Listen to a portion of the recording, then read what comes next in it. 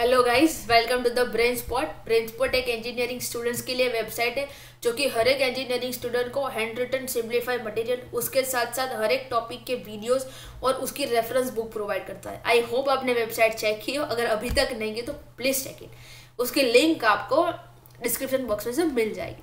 Let see today's topic data link layer service data link layer, physical layer के बाद में आता है ओएसआई रेफरेंस मॉडल में। आई होप आपको OSI reference model data link layer क्या है उसके बारे में पता हो। अगर आपको नहीं पता तो उसकी भी लिंक मैंने डिस्क्रिप्शन बॉक्स में डाली हुई। Please check it let see data link layer service है। डेटा लिंक लेयर मेनली तीन टाइप की सर्विस प्रोवाइड करता है।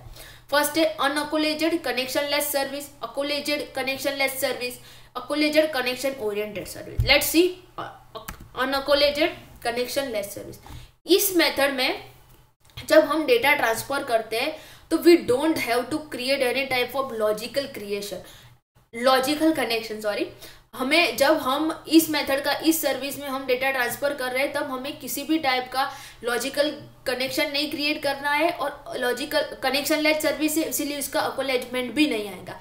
हमें इस सर्विस में सोर्स मशीन को सोर्स मशीन को जो भी data in the form of frame send करना है, वो सेंड कर देता है। उसको रिसीवर एंड पे क्या प्रॉब्लम है या वो डेटा कलेक्ट कर रहा है या नहीं कर रहा है, उसके बारे में उसको नहीं पता।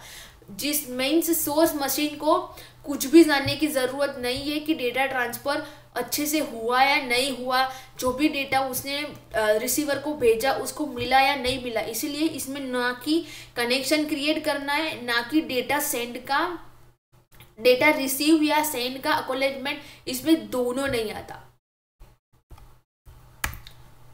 अकोलेजेड कनेक्शन लेस सर्विस इस सर्विस में हमें कोई भी लॉजिकल कनेक्शन क्रिएट करना नहीं होता है। और लॉजिकल क्रिएशन करने के बाद लॉजिकल कनेक्शन ना करने के बाद हमें कोई अकोलेजमेंट भी नहीं आता।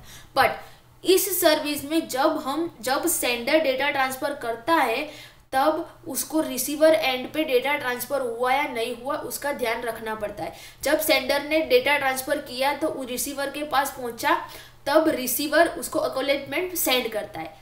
अगर रिसीवर ने अकोलेटमेंट सेंड नहीं किया सेंड नहीं किया, उस सेंडर को अकोलेटमेंट रिसीव नहीं हुआ, तब थोड़े टाइम के बाद सेंडर को फिर से फ्रेम या डेटा रिट्रांसमिट करना होगा।